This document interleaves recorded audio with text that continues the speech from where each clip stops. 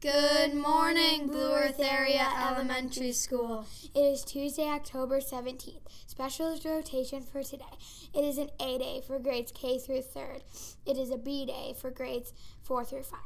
For lunch today, beef hot dog on a bun with roasted corn, or a hamburger on a bun, fresh vegetables, fruit, and milk. What is bullying? Bullying can look different. It can be physical, like hitting, kicking, or punching.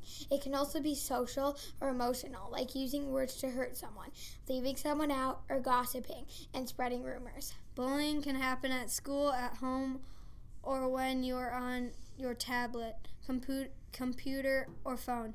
Adults may not see when someone is bullied. That is why it is important to tell an adult if bullying happens to you or a friend. Adults want to know about it and stop it from happening. Tomorrow, Wednesday, is Unity Day. Wear the color orange to show that we want everyone to be kind and include others. Remember to be responsible, be respectful, and play safe at Blue Earth area schools. Make it a great day. Please stand, stand for, for, the, the pledge. pledge.